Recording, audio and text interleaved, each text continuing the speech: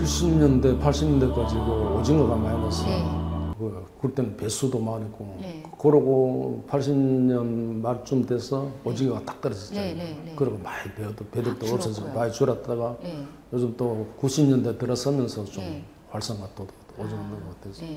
네. 그러면 제일 많았을 때 배가 몇 척이나 됐을까요? 그리고 여기 동해하고 묵호항 같은 경우 뭐 거의 한 500대 이상 돼요. 오. 5, 600대 이상 돼요. 항이 별로 안 큰 것 같은데. 그러니까 다 맞죠. 확장을 다 하고 있어서. 그 옛날에 통해보라고 입사고 그래서 그한 댕긴 데가 있어요. 데가 있는데 그때 이제 우리 집 사람이 처음 봤는데 오징어 배 탈 때 그때 처음 봤는 거예요. 그러니까? 근데 손좀 틀리더라고요. 귀엽고. 지금 말씀하시는데도 왜냐면 자녀 얘기하실 때도 활짝 웃으시지만 지금 손주 네, 손주는 때는 더. 네, 더 기쁘게 말씀하시는 네, 그래요. 것 같아요. 어, 재미있는 풍속은 없었어요? 요즘 뭐 신랑을 차에 매댄다든가 요즘은 그런 것들이 뭐 있고 또 천장에 매달아서 푸고 때리듯이 그때 저 때리고. 저기 그거 저 저기 뭐야 발목 묶고 매달아 가지고 발바닥 뒤로 치고 뭐 다 그랬었어요? 그래 옛날에 다 그랬지 뭐. 남편분 그래도 맞았어요? 어. 그러면 정치를 하면서 묵호한가 묵호 시장에 혹시 개선사항 같은 게 있으셨나요? 개선 네. 뭐 개선하려고 많이 여, 일을 추진해도 그게 잘 안 되고 네. 내가 시의원 할 때가 주 황, 주황시장 네. 거기에 많이 발전시키고 어, 집을 네. 다 헐고 새로 짓고 네. 다 하려고 했는데 주민들이 반대돼서 안 돼. 어. 지금 와서 모두 후회하고 있다. 내가 옛날에처럼 공국 장사를 한다면 대박집이다. 내가 자랑이 아니라 우리 집 식구도 그렇고 우리 저기 애들도 그렇고 다 엄마는 엄마 공국 너무 맛있다 엄마는. 그 끓이는 비법이 있어요 그다. 아이고 예. 공국 있으면 나를 공국 있으면 나를 돈 주고 끼리다 대박 날 텐데. 이거 뭐 자꾸 손이 올라간다 코가 간지러워가지고. 그러면 학생들한테도 또 사회치 혹시 예. 그런 거를 시키셨나요? 나중에 이제 사이치를 우리 학교에 사이치를 뒀죠. 그래서 학생들에게 어 그걸 하니까 아, 시에서도 뭐 어, 삽도 갖다 주고 말이지 아, 학생들 아, 교육에 필요한 것도 지원도 해주고 그렇게 이제 했다. 또 광산에 가면은 이렇게 이렇게 이렇게 생긴 사람이 많아요. 광산에 왜냐 꽃갱이 계속 꽃갱이를 해가지고 몸이. 이렇게 틀렸어요. 그래서 이렇게 틀린 사람을 그냥 보통 하던 대로 해놓으면은 이게 이쪽으로 가고 뒤고 이쪽으로 이게 옷은 옷은 바로 해놨으니까 이렇게 네. 앉는데 네. 어깨는 뒤틀려 이렇게 해가지고 옷이 똑바로 안, 안, 앉지 않아요. 토목직으로 공무원이 됐어요. 네. 토목직 공무원 되니까 건설부에 이제 발령을 받게 됐죠. 음. 건설부 그 당시에는 태백산 국토 건설국이라고 영주에 있었습니다.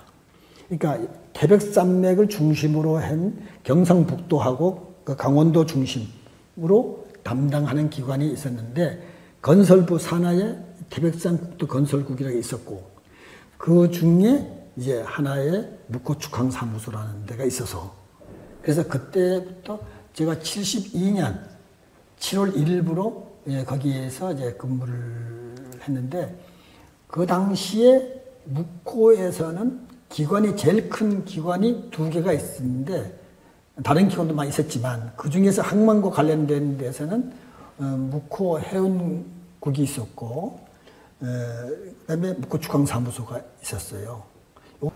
군대 지대해가지고 네네.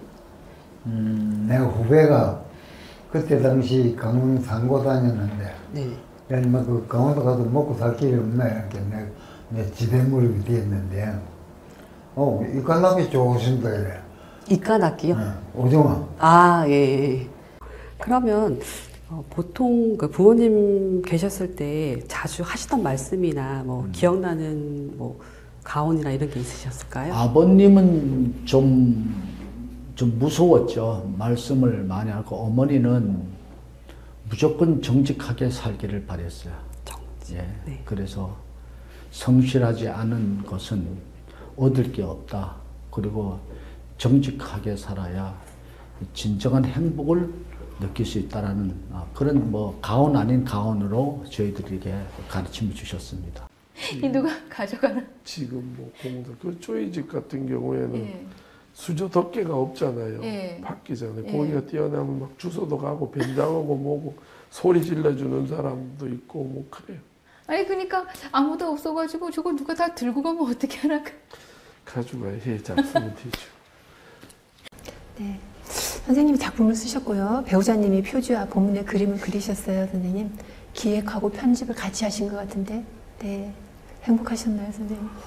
네, 그때는 뭐 이 말을 맞대고 이제 이 작품에 어떤 그림이 사파가 어울릴 것인가 의논하면서 이제 네. 집사님 그러는데 지금도 저는 그 표지 앞 그림이 상당히 마음에 들어요. 네. 그게 이제 어떻게 보면은 음. 이제 바다와 이제 음. 그 하늘을 나르는 그런 뭐 비상하는 새들 네. 이런 걸 표현해서 그러면 작업을 매일 하시잖아요.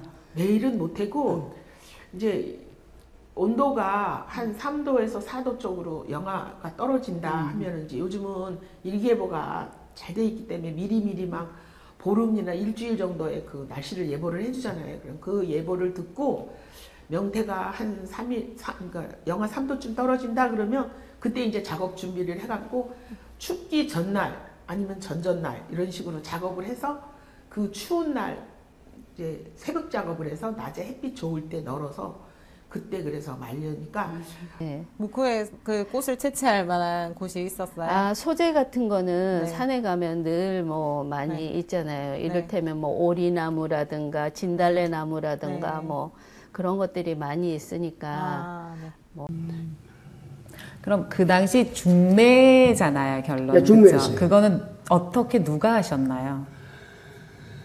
그 당시에 중매 결혼인데 참 결혼했는데 그때는 돈도 더지만은 첫째 양만 사는 많이 그 가려가지고 어, 내가 뭐 그때는 뭐 돈이 있든 없든가 나는 그때 그럼 우리 처가는 부자였어요. 그렇게 했는데. 그때는 고기도 많이 났어요. 그리고 얘 그때는 이 업한자에 업한자에 가면은 이 저- 각지에서 다 몰고도 저 뭐, 경상도서 이쪽서 막 고기 잡으러 온단 말이에요. 와가지고 뭐 사방 이제 고기를 내려오는데 보면 어느 기 내가 누를 줬는지도 모르는 거야. 내가 고기를 상자를 줬는데 밑에서 받았단 말이야. 받았는데 그걸 줬는지 저를 줬는지 분간을 못하는 게야. 그래도 뭐 오징어도 잃어버리는 거 많고.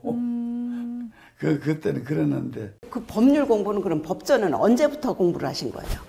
그거는 제가 부평 고등학교를 1학기에 그만두면서부터 그때 참 그 책이 12권인가 이렇게 돼 있고 법전이 이렇게 두꺼운 게 지금도 나한테 지금 있습니다. 그래 12권 책은 다 어디 가고 없어도 지금 법전은 내 책꽂이에 꼽혀 있어요.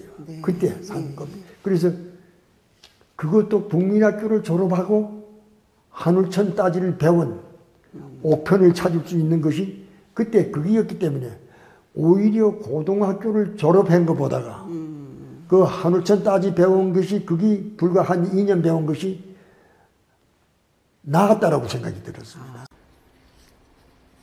그러면 21 문학에 처음 시인으로 등단하셨을 때 본인 누구의 추천을 받아서 등단하셨나요? 아니면 자의적으로 하셨나요? 그 일단 그 문학지를 알아봤어요. 이제 시, 그 등단하는 게 이제 신춘문예 당선된다든가 어떤 문학지로 등단된다든가 아니면 이제 그 작품집을 내서 등단되는 경우가 크게 그렇게 세 가지가 있는데 저는 그때 당시에 이제 문학지도 문학지도, 네, 문학지로 했는데 문학 21로 했는데 그게 이제 물어봤을 때 그때는 아주 상류층 문화층은 아니고 한 중간 정도면 되더라고요. 그래서 이제 그쪽으로 선택을 한 건데. 예. 예, 이거 이 책은 이제 동해시에서 덕장마을 소개하기 위해서 이제 선생님이 만드신 요리 책인데 여기 이제 선생님이 이제 무코테 요리로 한 것 중에서 선생님 요리가 있거든요. 그 페이지 한번 펼쳐 보겠습니다.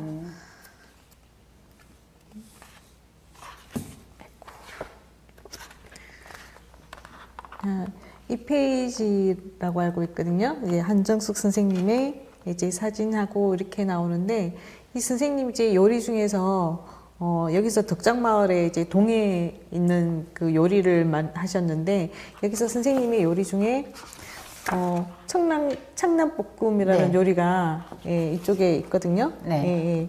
선생님 그럼 이 요리는 어떤 건지 한번 말씀해 주시겠어요? 창란볶음이 창란을 볶아 놓으면 우리 느타리 버섯 있잖아요. 느타리 버섯하고 똑같아요. 생김새가 볶으면은. 근데 이제 창란볶음은 특별하게 다른 거 없어요. 오징어 볶 가정주부들이 오징어 볶음 집에서 하잖아요. 그냥 오징어 볶음 하듯이 하면 돼요. 이거는. 에, 우리 지역의 묵호항 주변에 있는 어, 묵호 지역이 6, 70년대 우리 어, 지역의 어, 애환과 어, 삶의 현장의 기록들이 어, 남아 있습니다. 이것을 우리 기록가와 어, 구술자들이 자기의 삶의 역사를 아주 진지하게 소중하게 했습니다. 이것이 우리 지역의 소중한 역사적인 어, 자료로 남게 되고 우리 어, 지역의 어, 역, 중요한 역사가 될 것입니다.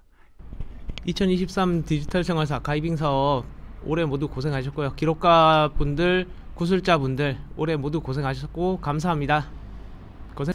그동안 음, 많은 고생들 하신 거를 옆에서 지켜보면서 아, 참된 어, 작업이고 소중한 미래 가치를 창조하는 작업이다 그런 걸 많이 느꼈습니다.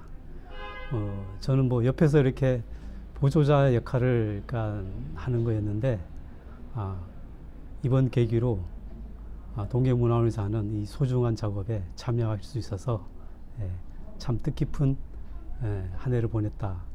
예, 그리고 다시 한번 예, 기록가 10분 그리고 구술자 20분 예, 아주 예, 참, 예, 참여해 주셔서 예, 정말 고맙습니다. 예. 정말 올 한 해 우리 동해문화원 기록가 10분의 기록가 여러분하고 그리고 또 20분의 그 구술자 여러분 한 해 동안 정말 고생 많으셨습니다.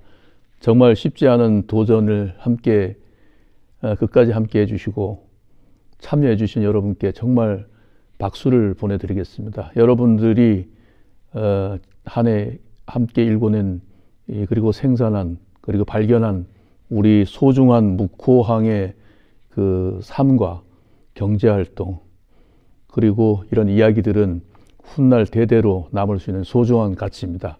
여러분 정말 감사드리고 한 해 동안 고생했습니다. 감사합니다.